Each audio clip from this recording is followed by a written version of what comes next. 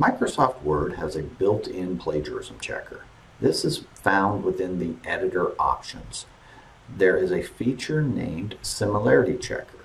This feature will check the document against online sources for similarities. Similarities it finds will be marked so they can be reviewed and compared with that online source.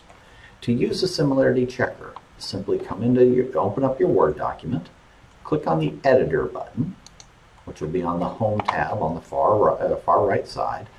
In here, it will have a lot of different things for the editor options, scoring you on the readability and such.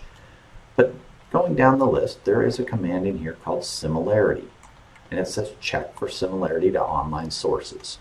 Click on that button. It will begin processing and checking for similarity. When it finishes processing, it will report back telling you, in this case, 84% of my text is similar to an online source. I can now come over to my document and you'll see there's a lot of text underlined throughout the document. If I click on one of those underlined texts, it's going to pop up a little box that shows me the website that it came from and the similarity to the text. I can come down to the bottom click on these three dots, the more options, and in there it will have the option to say show the source text or open the source in a browser, which is what I'm going to choose.